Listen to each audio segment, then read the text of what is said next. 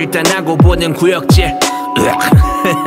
다음 손바닥 가슴을 쓰려 고민이 필요해질 때 이미 고민을 끝내고픈 난 스스로 사고를 죽여. 어? 해얄목 때문에 살려준 거라면 날려놔줘. 버티기 빡세 불안감 속. 스며드는 존재에 대해 느끼는 연미 말로. 다 하지 못해 낙서장이 피카소 미디어 통해 보게 되는 버림받은 이들의 치근함이 위로가 돼. 동시에 차라리 저쪽이 맘 편할지도 눈치 보지 않고 우울해를 할 수 있죠. 멋지게 살아야지. 멋지게 살았단 착각 멋지게 살아라 악마 같은 말들이 싹 다 떠오르는 착살 고치는 그 한마. 뒤마디가 얼굴 위 뱉은 침인 것도 같아. 멋이 밥 먹여줄 것 같던 한창. 약간 막간 상태보다. 딱 열배로 딛고 있던 지각판. 스스로 무너진 거지. Drop bombs. 요리가 필요해. 이별도 안 가린 것 말고 요리가 필요해. 마지막일지도 모르는 낭만적인 식사가 내 앞에 차려지길 건배. 건배 또 건배.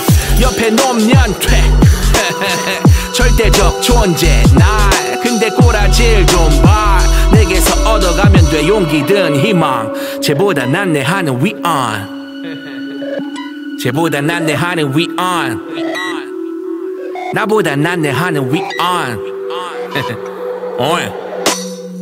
원하진 않지만 적을 쉽게 만드는 타입 설치된 것들은 가만히 못 봐주겠어서 한마디 내야.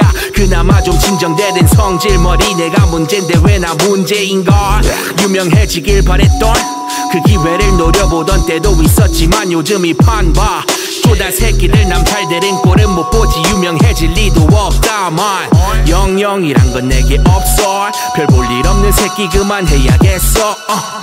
더는 못 지킬 것들을 시분이지 말아야 해턱 없이 부족한 능력치 난 한계를 알았지. 난 날개를 달아 긴 비행을 시작할 겨.